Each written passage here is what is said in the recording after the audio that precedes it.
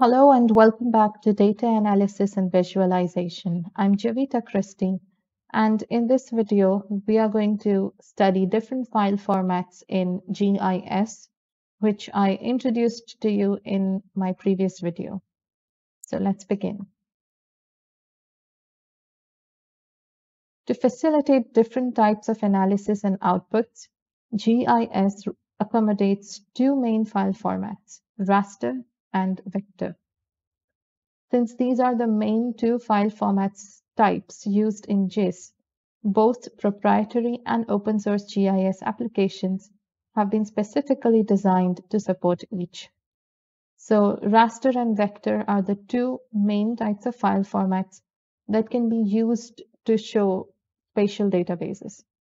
And that's why whether you use a open source uh, application or you use a proprietary, that is the a paid GIS application, um, both of them would be supporting the raster and vector file formats.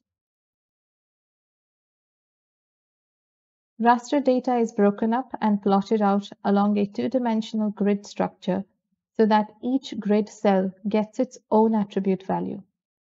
Okay, so it is a two-dimensional grid structure, which means um, there are boxes and uh, you know there is x and y axis as usual, but there are also boxes created. So think of it as a computer screen with pixels. So it looks like that. And also if you think of those old video games that used to be there with uh, in, in old mobile phones, which were black and white, um, those video games used to have this type of a format. Although most people know that rasters are used to store image data in digital photographs, very few people know that the raster file format is useful for storing spatial data as well. So um, raster file format is usually used for images to store digital photographs because like I said, pixels, right? But Few people know that it is also used for storing spatial data as well, which means location, geographic coordinates, and uh, shapes. Raster files can be used to store data for only one attribute at a time. In GIS, data for a single attribute is stored and plotted in a two-dimensional grid where the horizontal dimension represents longitude and the vertical dimension represents latitude. Okay, so you cannot store multiple attributes at the same time for the same kind of data. What you have to do is store one attribute at a time. So for example, if that uh, attribute you're dealing with is location, which means you have uh, latitudes and longitudes, then in the GIS uh, data, there will be a two-dimensional grid if you're following the raster form.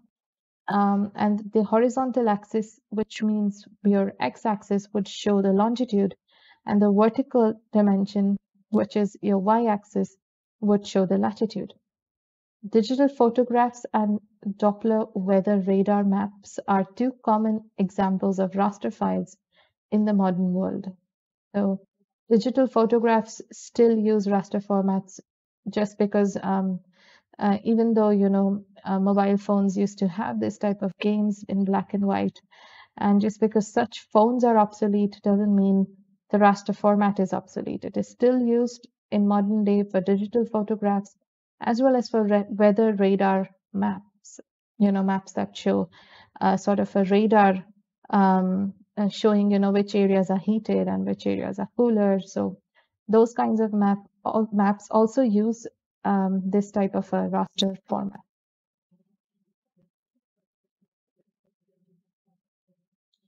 Now, vector format files, on the other hand, store data as either points, lines, or polygons on a map. So this is something different. Um, it's not like raster format, which uh, uses grids and uh, axes to store all this data. Vector format stores data as points, lines, or polygons, as we saw in the previous video as well. Point features are stored as single point records plotted in geographic space. Okay, so single point records, records that do not require multiple points. So if you're plotting something like a, a name of a place or something, for example, um, you're plotting a McDonald's uh, store in a city, then how would you represent it on the map? You would just put a small dot, right? So that is a single point. It's a single point um, value. It has only x and y, only one point, and that's why it would be plotted using a point. Um, line and polygon features are stored as a series of vertices that comprise each record plotted in geographic space. So if you have a, uh, say you want to plot a river or something, a road, for example, then you will have multiple points and you'll point uh, and you will plot that in your map. And um, if you had to plot an entire city or a country, then you might want to use polygons because then also you would be dealing with multiple points.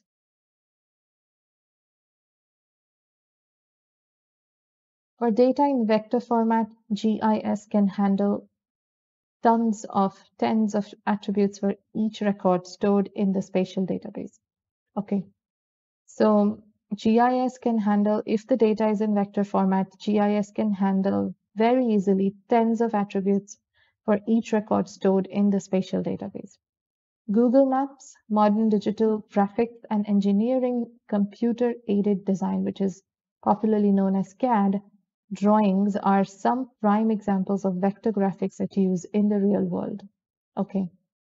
So if it is vector format, lots of attributes can be processed at the same time by GIS.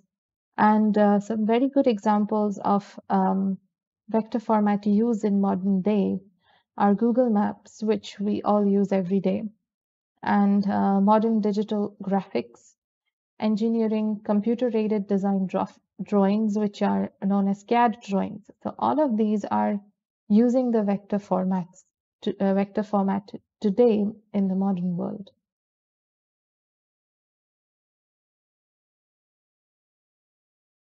To conceptualize the raster versus vector idea, imagine that you have some graphic paper, some graphing paper and a pencil, and you want to draw a map of a street that's in your neighborhood.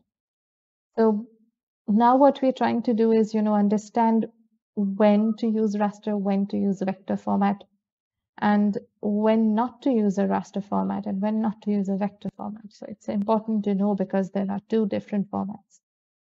So now to do that, you have to um, imagine that you are using some sort of a graphing paper and you've got a pencil. And what you want to do is draw a map of a street that is in your neighborhood. Okay, so you just want to draw a map of a street that's nearby. You can draw it as a series of polygons, one representing the area covered by the street and the others representing the parcels that are about the street. So, um, so for example, if your street is having, you know, different blocks of buildings, then, you know, you would first show the street as a big polygon then within that polygon, you would show all these blocks of, of buildings using more polygons. So there would be one big polygon, which would be your street, and there would be one smaller polygon, um, not one, many smaller polygons within that big one, showing all the buildings and shops and everything that you have. Okay. You could also fill in the squares of the graph paper one after the other until you cover all the areas with one single multicolored surface. So because it's a graphing paper, a graphing paper, if you uh, remember from your school days, is the kind of paper that has those grid lines. You know, it has x-axis, it has y-axis, and I, I believe there are about, you know, there are boxes on that paper of one centimeter. Uh, uh, I, I think that is, it is one centimeter. So those kinds of boxes are available so just if you if you wanted to use that, then you would just fill all those squares of that paper uh, with different colors. Maybe one, if you have a building, then um, uh, you might want to color it brown. If you have um, a shop, you might want to color it red or something. So if you do that, you could still create a map. Now, this is an example of what it looks like. The raster format is almost like a graph, graphing paper and, you know, filling the boxes as you can see. So if you have just one point, you'll just fill one box. Vector format, on the other hand, use coordinates. So there are points, okay? If you have to show this one point of a of cell um, in vector format, you would just plot it on x and y axis and put that point right in that position. And if you had to make a line, like show a road or something, then in raster format, this is how you would be doing, okay? And in vector format, this is how you would be doing it. So you can see the difference. Uh, in raster format, to make a polygon, this is how you would be creating a polygon. In vector format, the polygon will look something like this. Okay. So these are the two differences. Vector format data is like drawing the street and parcels as a set of separate polygons. Okay. Raster format is like making one surface by coloring the entire area around that street so that all the street areas and the adjoining parcel areas are covered in their own representative colors. So the idea behind a, a raster format is you can color different things differently to show that this is the area, this is the exact area. And as we saw in the previous diagram, um, whatever was colored black was the street, whatever was outside it, you can consider that as nearby areas. So you can, and you don't have to stick to black and white. You could you could have your own colors, and because of that, you end up having so many colors within your um, diagram.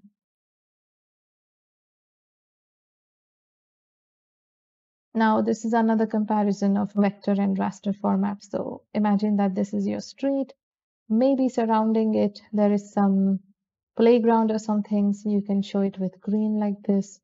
Okay, and surrounding it, maybe this area is some sort of a road. So that you can show with a different color. And um, this yellow part, of course, is your street. Now, the same thing you could show in the raster format in this manner. Okay. Uh, maybe the blue things shown here could be your buildings and uh, doors and all those things. So this is what it would look like.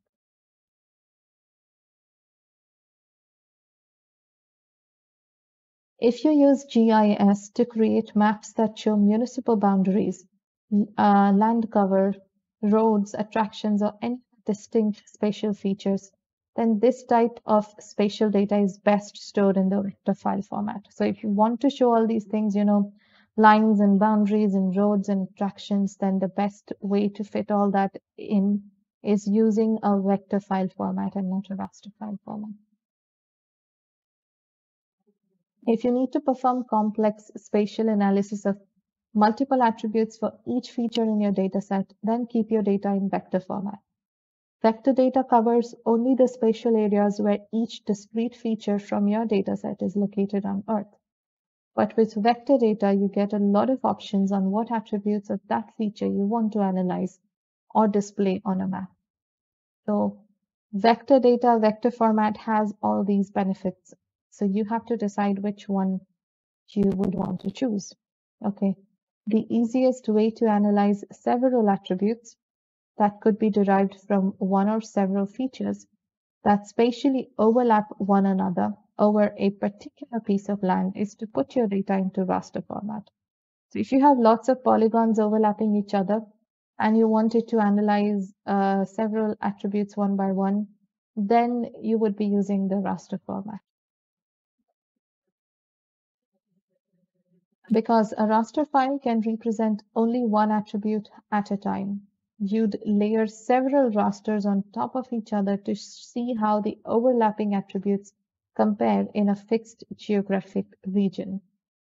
So that is how a raster file is created. You don't just create it all together, you create layers over it. So the first layer maybe contains only the street, all the yellow boxes, and the second layer contains the pink boxes. So this way, all the layers are uh, created. And the purpose of this is that when you have so many layers over each other, then it's easier to analyze each attribute um, specifically or uniquely. While you can do a similar type of spatial overlap comparison using vector files, raster files are going to give you a full and comprehensive coverage for each set of attribute values across an entire study area. For example, to quantify volume data across a fixed area of land, raster files are definitely the way to go. Consider the snow example that we saw in the previous video. Okay, here your attribute is snow height, right? So if you have to quantify volume, uh, volume data across a fixed area of land, then raster files are the way to go because you could show different colors. Okay, um, to show that you know the snow height is more or less over here, you could use different colors in raster format, and you could also um, make make more boxes to show that the height of snow here is more.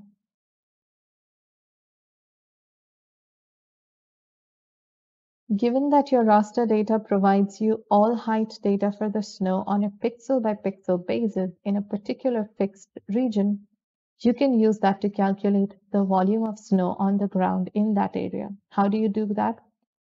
Because everything is a box, everything is a square, and um, you know that from the colored squares that this much area is having snow. So you could calculate the volume of snow by simply multiplying the area of each pixel by the difference between the average snow surface height and the average ground elevation at that location. And then to find the area of snow that has accumulated in a fixed area, sum up the volume of snow that has fallen in each pixel of that area. When you work with spatial data that's in vector format, you're focusing on features. You're doing things like drawing separate line features, cutting existing features, or performing a buffering analysis to get some determination about features that are within a certain proximity of the feature you're studying.